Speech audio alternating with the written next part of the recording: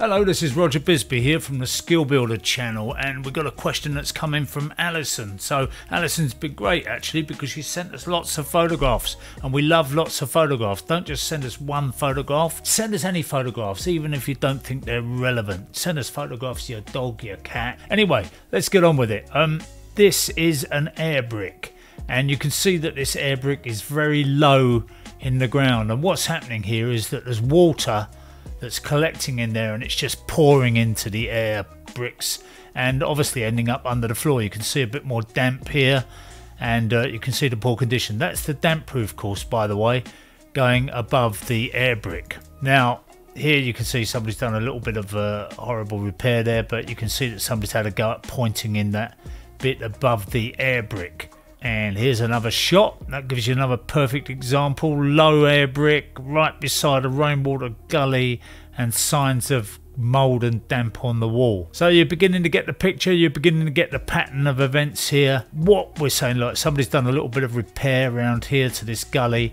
It may well be that that gully was overflowing, that it got a bit blocked by debris and that it overflowed around there and that made the situation even worse. But whatever is happening there, she's got air bricks which are too low in the ground. Now, when this house was built, what they should have done, this is a, a beam and block floor here so they've got ventilation under the floor area and what they should have done is put those air bricks under the floor as they have but they should have used telescopic vents which are basically things which move inside the cavity there's a kind of a black duct and it's telescopic and you just lift it up and you bring it up to a level which is above the ground. So ideally you would put uh, it two bricks above the ground. So that would be in this brick here. So instead of the air brick being right down there the air brick ideally would be in this brick here or at a pinch in that brick there depending because obviously it's nice to have it on a whole brick. But anyway this has been done wrongly and Alison's suffered the consequences. And the consequences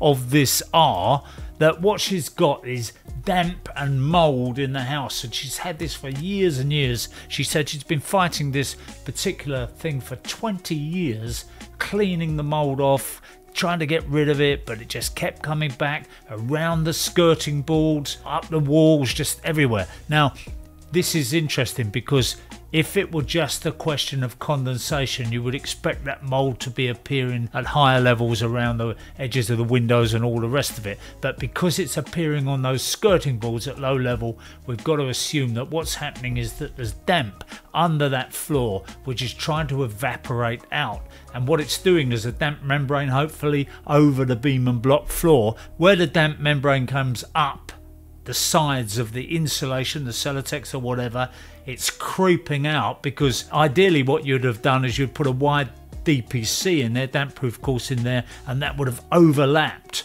the membrane that's coming up and the whole thing would have been tied in.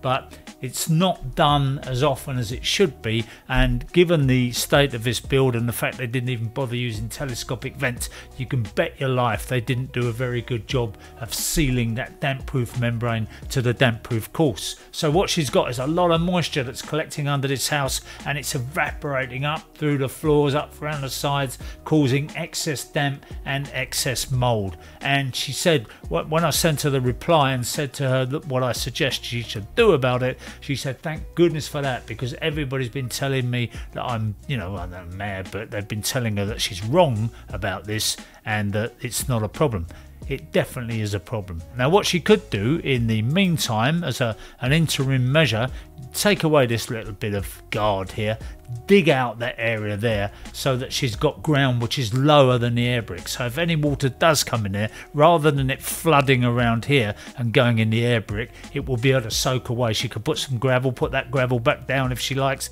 and just basically get it so that it's soaking away from the air bricks and not collecting around there. But the real answer to it is to lift those air bricks up by putting in those telescopic vents. And that can be done by a bricklayer. It's probably one or two days work for a job in bricklayer it's the kind of guy that comes around doing repairs. And uh, even a good handyman could do it but it's it's quite hard to make the whole thing look nice. So you want somebody who's good at pointing and so on to do that job. But if she does that, if she gets those telescopic vents and gets those air bricks up to a decent level, then a lot of the problems will be solved because not only will it stop that water from going down under the floor, it will give a better cross ventilation of that underfloor area and those air bricks will do the job they're designed and intended to do, which is get a nice flow of air going under that floor to clear any residual moisture that's under that floor and take it away. You can bet your life that there's probably not even a decent membrane under that floor. Normally you put something down like polythene sheet on top of the sub base, on the top of the soil or whatever it is, to stop any evaporation of groundwater coming up into that space, that void that's under the floor. So she's got probably a double whammy there. She's got water pouring in and if there is a membrane there it's pouring in on top of the membrane or she hasn't got a membrane and it's evaporating up but whatever it is it's damp and i'll just mention one more thing and this is the joy if you like of having lots of photographs is that you can see what's going on and you can see that at some time this house has had cavity wall insulation put into it. Now, I know a lot of people are going, oh, well, there's your problem. It's the cavity wall insulation that's causing the damp. Well, it's not the cavity wall insulation that's causing the damp. It will be if the damp is getting up and it's evaporating into that cavity. Obviously, it will be soaking that cavity. But in normal conditions, if that were dry, if that job had been done properly, she wouldn't then have this problem with damp cavity wall insulation. But it seems to me there's a lot of drying out to be done in that property.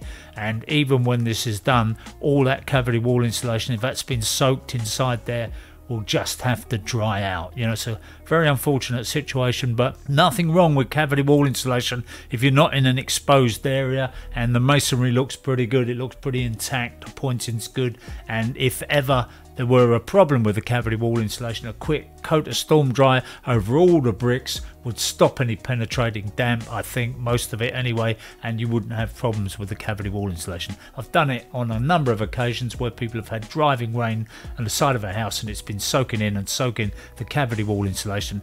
Quick one coat of Stormdry and uh, it's back in business and you've solved the problem. But there you go.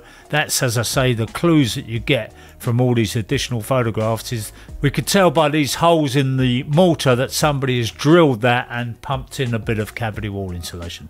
So I hope that helps, Alison, and hopefully your friends and neighbours will no longer think you're a nutcase. People think I'm a nutcase, but it doesn't really bother me that much.